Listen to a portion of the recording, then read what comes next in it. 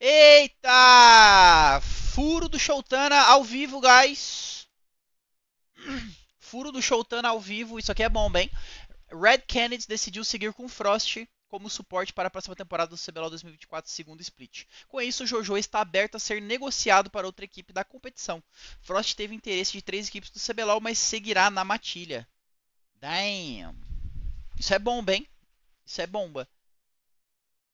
Mas, cara, assim, eu sempre gostei bastante dessa energia do Frost com o Brence no, nos in-house, nos treinos. Tá ligado? Tipo, sem ser CBLOL, os dois jogaram sempre muito bem juntos. A grande questão do Frost versus Jojo sempre foi a questão da experiência, mano.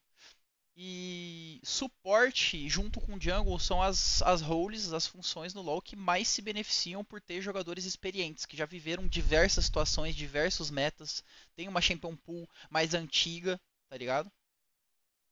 Então, é, é, um, é um move arriscado, mas eu acho que faz sentido pelo momento do time, né? Tipo, ele já tem muitos jogadores veteranos e tá faltando uma, uma pimentada para eles jogarem melhor.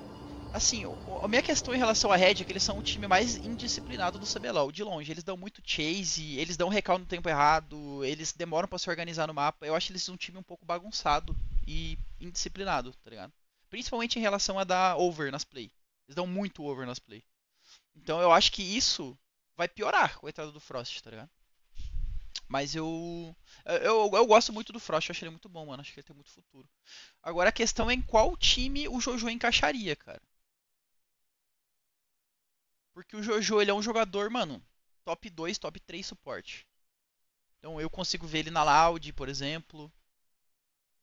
Mas não sei se tem algum outro time que interessaria ele. Eu acho que se ele não for para um time bom, provavelmente ele vai ficar, tipo, na red de reserva ali. Moscando. Porque não tem por que ele ir pra um time pior e se queimar, tá ligado? Eu, se fosse ele, ficaria na red ali no banco e beleza, mano. É a vida, né?